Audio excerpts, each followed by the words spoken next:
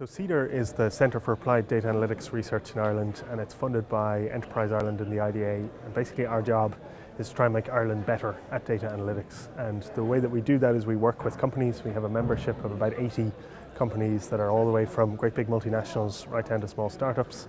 We do proof of concept projects, we do collaborative kind of state of the art views on up and coming things in data analytics.